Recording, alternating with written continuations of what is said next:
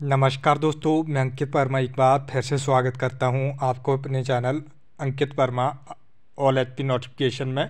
तो दोस्तों, देख सकते हैं अभी की जो ताज़ा खबर ब्रेकिंग न्यूज़ आई है कि हिमाचल की महिलाओं को मिलेगा 1500 कल जो है कैबिनेट में जो है बड़ा फैसला जो है हो सकता है, क्योंकि सप्ताह में ये तीसरी कैबिनेट बैठक बुलाई गई है। पिछली कैबिनेट में जो है ओपीएस की बहाली को लेकर जो है कन्फर्मेशन कर दी गई है। एक अप्रैल से जो है ओपीएस मिलना शुरू हो जाएगा।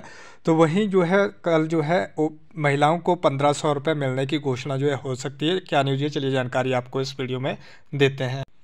तो देख सकते हैं ताज़ा खबर ब्रेकिंग न्यूज़ सीएम सुक्खू ने 6 मार्च को फिर बुलाई कैबिनेट मीटिंग ओपीएस के बाद ये दूसरा बड़ा निर्णय ले सकती है सरकार। तो मुख्यमंत्री सुखविंदर सिंह सुक्खू ने जो है सप्ताह में ये तीसरी मंत्रिमंडल की बैठक बुलाई है। इससे पहले सरकार ने एक मार्च, फिर तीन मार्च और उसके बाद छः मार्च को दोपहर दो बजे मंत्रिमंडल की बैठक बुलाई है। ऐसे में सरकार पुरानी पेंशन योजना ओपीएस को जो है एक अप्रैल दो हज़ार तेईस से लागू करने के बाद दूसरा बड़ा निर्णय ले सकती है। यह बड़ा निर्णय जो है अठारह से साठ वर्ष की महिलाओं को पंद्रह सौ रुपये देने के विषय में हो सकता है, जिसके लिए सामाजिक न्याय एवं अधिकारिता मंत्री डॉक्टर धनीराम शांडिल की अध्यक्षता में मंत्रिमंडल की जो है उप समिति का गठन किया गया।